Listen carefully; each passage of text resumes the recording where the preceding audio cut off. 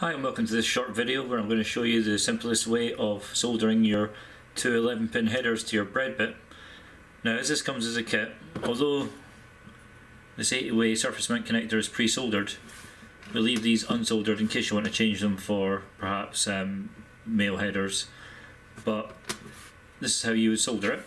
You would need a breadboard.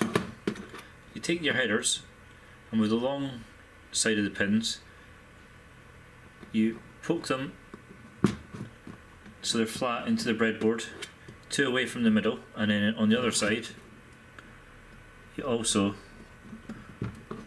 poke them in like that. So you've got your headers there, and what you do is you place your bread:bit on top, then taking your soldering iron, you want to tin your tip then if you hold it down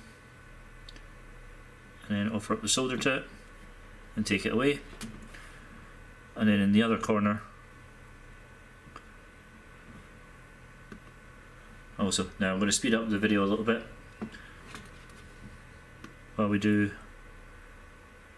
the rest of the pins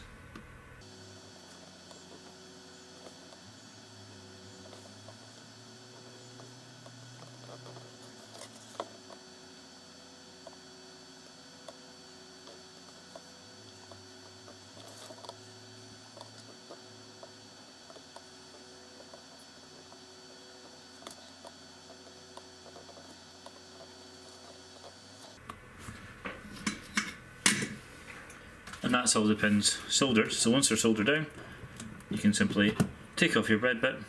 You can see it's all nice and level and soldered. And then when you want to use your bread:bit, simply pop it in like that and you're ready to go. So thanks very much. Bye.